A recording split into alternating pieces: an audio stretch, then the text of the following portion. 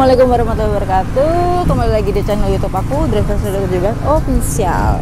Buat teman-teman semua jangan lupa bantu subscribe, like, comment, and share. Oke hari ini kita berada di garasi ya. Dan ini Alhamdulillah Baru kemarin ngomongin di Ferry Petir oe ya. Kalau Dino nih lagi inden Alhamdulillah eh, ini kemarin datang lagi 5 Tronton lagi 5 baru dan seperti biasa langsung peleknya diganti Alcoa. Kalau yang sebelumnya itu kan almarhum Pak Armstrong. Nah sekarang ini eh, Alcoanya ini dikelola sama siapa? Devi juga belum tahu. Nanti kita tanya-tanyain karena orangnya ikut. Lagi sibuk ikut buat uh, nganu-nganuin Alcoanya. Ini yang jelas baru uh, satu unit ini yang lagi diganti ya. Ini total ada lima. Langsung diganti. Devi nanti mau nanya nih kira-kira ada perkembangan apa lagi nih di Alcoa nih? Kalau kemarin itu kan ada model baru yang Durabin itu. Nah sekarang ini uh, apakah ada perkembangan lagi? Terus nanti juga ada pertanyaan-pertanyaan yang lain. Nah ini kita review dulu untuk unit yang lagi ganti velg ya Nah, ini yang sudah diganti. Wah, mening-mening ya guys. Tuh, ini Alfa baru. Waduh. Ronton 10 10 dikali 5 berarti ini ada 50 Alfa. Dan bannya bannya sekarang ini mereknya CST ya ini. Ini bantu plus juga. Bantu plus mereknya CST. Nah, ini untuk yang sebelah sini ini lagi dibongkar. Pakai impact ya jadi alatnya sudah lengkap. Ini bannya lagi dibongkar yang di depan. Ya seperti ini guys kegiatannya. Kalau mobil baru datang langsung diupdate untuk peleknya jadi pelek Alcoa biar mending-mending habis itu baru di karoseri boxnya di tempat tentunya di Pandawa di Bekasi ya habis itu baru di set Oke semuanya uh, jadi kali ini kita uh, berkesempatan ketemu langsung ya dengan Pak Ivan. Ivan betul. Ya Pak Ivan. Jadi uh, yang sekarang ngurusin di Alkoin ya Pak ya. Iya betul Mbak uh, jadi uh, yang sebelumnya kan almarhum Pak Amstrong karena beliau sudah uh, berpulang. Iya. Jadi ini tetap kan harus diteruskan. Sekarang Dengan diteruskan. istri almarhum. Oh, uh, diteruskan oleh istri almarhum. Iya. Gitu. Nah, uh, aku, saya bisa bertanya sedikit tentang alkohol deh Pak? Boleh. Nah. Boleh banget. untuk alkohol sendiri ini kan untuk tam kargo sudah langganan dari dulu ya Pak? Iya betul. Ini kira-kira ada model baru lagi nggak sih Pak? Kayak kemarin kan ada Dura Brand ya? Ya, Dura Bright. Ah, Dura Bright. Eh, Dura Bright. ini. Uh -huh. itu terus sekarang ada perkembangannya nggak sih? Terus untuk Alcoa ini ada tipe-tipenya nggak? Ada. Sebenarnya untuk ukuran Alcoa untuk ring 22 setengah ini hmm? ada beberapa tipe. Contoh seperti ini, ini standar untuk truk itu 8,25 kali 22,5 oh. inch. Yang mana 8,25 itu adalah lebar dari pelek ini. Uh? 22,5 inch adalah ringnya. Oh. Nah, terus kemudian uh, ada di atasnya lebih lebar lagi bannya. Itu 9 in, 9,00 kali 22,5. Di mana kelebihannya adalah daya tampung tonase per pelek bisa lebih berat lagi. Oh gitu. Nah, kemudian pemakaian bannya bisa lebih lebar lagi, gitu. Hmm. Kalau untuk pelek ini maksimal pemakaian bannya di 295 lebarnya. Oh, berarti Alqua ini juga bisa untuk muatan yang berat juga ya? Bisa, bisa banget. Oh. Nah, ada yang pakai buat dump truck ada. Hmm. Uh, uh, itu yeah. pakai. Tapi dia untuk khusus tonasenya lebih berat. Jadi peleknya lebih lebar lagi. Gitu. Ya, jadi kadang kan teman-teman ada yang nanya, Mbak, uh, Alqua tuh bisa nggak sih untuk muatan yang berat gitu? Bisa. Nah, ini udah ada jawabannya. Bisa ya. Uh, uh. ada yang lebih lebar lagi. Lebih lebar dari 11,97 lebarnya. Jadi bisa kurang lebih dua ban ini ya. Wow. Nah, contohnya kayak apa? Truknya gudang garam. Ya, Kalau ban garam. belakang dia hanya satu ban, tapi pelaknya lebar sekali. Hmm, 11,97. Dia pakai Alcoa juga. iya Iya. Tuh, semua orang udah tahu tuh ah, udah garam gitu tuh. Iya. terus Ya. eh, kalau untuk tronton sama ankle itu sama Sama. sama Selama dia punya ringnya 22,5 inch. Nah, untuk ring 20 bisa di-upgrade ke 22,5. Nggak masalah. oh gitu Nah, yang ban 1000 ban 1000 biasanya orang nyebut bisa di-upgrade ke ban 1100. Ya ini Iya, ini kan 1100 22,5. Iya. Atau 11R orang nyebutnya. 11R iya. itu 1100. ya Eh, Ya. Oke, eh, sudah jelas untuk saya dan ada satu lagi pertanyaan ini Oke, Pak. siap. Untuk truk canter, Nah, elep, dan itu. yang kecil-kecil itu kan banyak sekarang yang nanya ke Devi Sangat dan banyak. Hampir setiap hari ada yang nanya. iya, itu kira-kira bisa dihadirkan nggak di Indonesia? Kita usahakan eh, untuk hadir di Indonesia di tahun ini. Cuman kita belum bisa janji karena kita terbentur sama izin dari pemerintah. Gitu. Izin barang masuk, Mbak. Ya, kita belum bisa Ya. jual. Produknya ada. Produknya ada.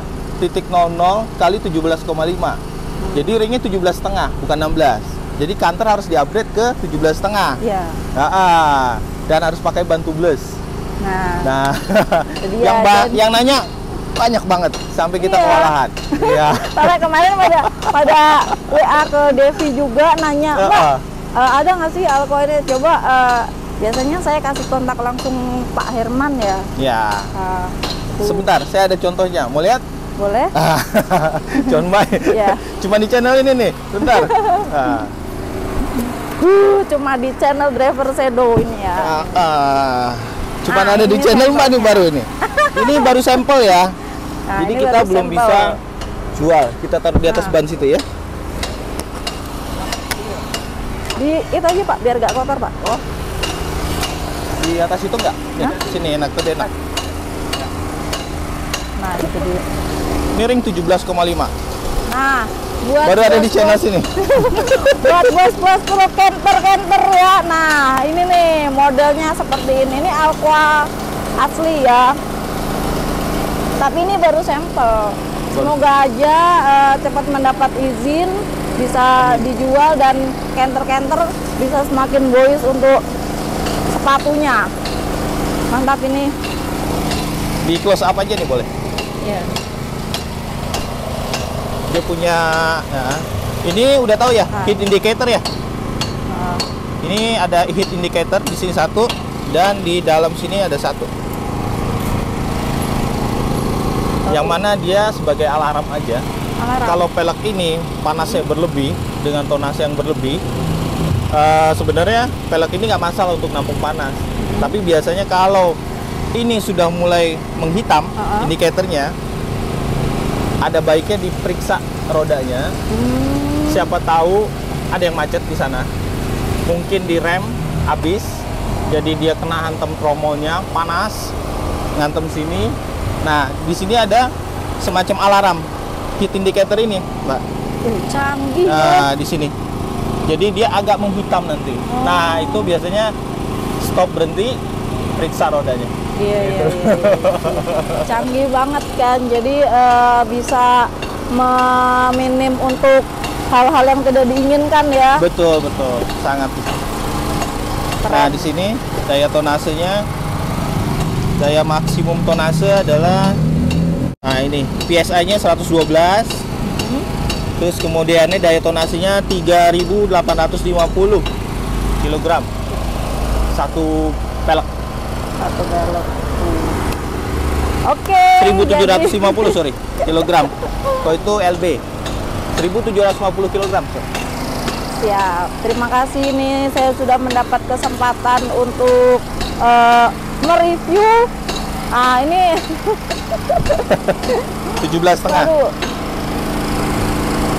Nah, buat yang kemarin bertanya nih, buat yang owner-owner yang punya canter-canter atau elf ya ibaratnya ya Banyak banget. yang pengen berdoa aja semoga Amin. izin ini segera izinnya segera turun Iya. pokoknya bisa menikmati juga untuk alkoholnya ini mantap ini terima kasih banget ya Pak Sama-sama, ini sudah diberi Thank you. kesempatan untuk mereview ini Ah, Makanya semoga ke depannya Alqua semakin uh, jaya lagi. Amin, amin, semakin amin, amin.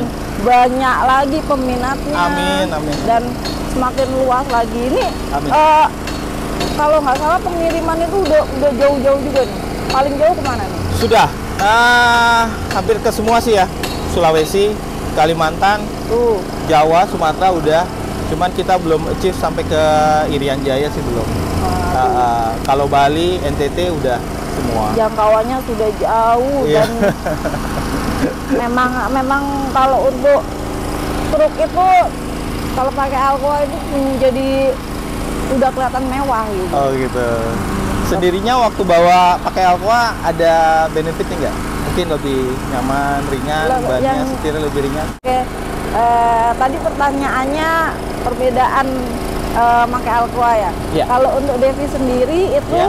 yang Devi rasakan memang eh, untuk kenyamanan itu eh, sudah dirasakan sangat oke karena eh, katanya Hmm? untuk Alcoa ini kan panasnya itu kan eh, peleknya yang nyerap. Nah itu aku sebenarnya kurang paham itu Pak. Bisa Oke. tolong jelasin Siap, siap. kelebihannya Tak ini? jelasin mungkin semuanya kali ya. Boleh ya? Boleh. Oke, eh, Mbak Devi fansnya yang di YouTube ya kan.